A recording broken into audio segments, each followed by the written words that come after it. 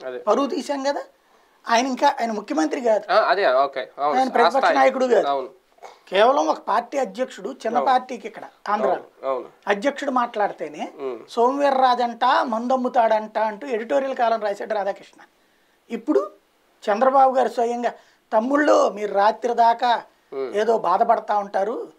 తాగుదురు కానీ.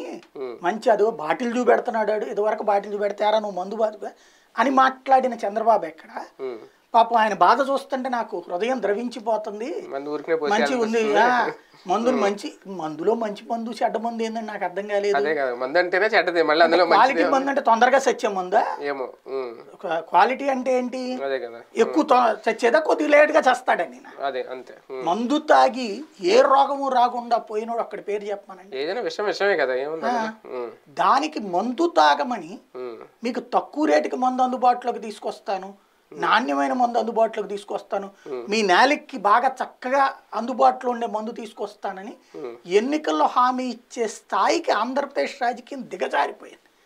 నీచత్వంగా పడిపోయింది. నువ్వు అడుగు జగన్ నువ్వెందుకు చేయట్లేదు భయ మద్య నిషేధం?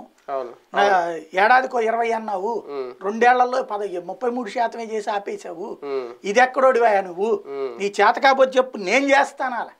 రాష్ట్ర విభజన నీకు చేత కాకపోతే చెప్పు రాజశేఖర రెడ్డి నేను చేస్తానన్నా ఆ తర్వాత రాజశేఖర రెడ్డి చనిపోయి కిరణ్ కుమార్ రెడ్డి నీకు చేత కాకపోతే చెప్పు నేను చేస్తానని తొడగొట్టినోడు.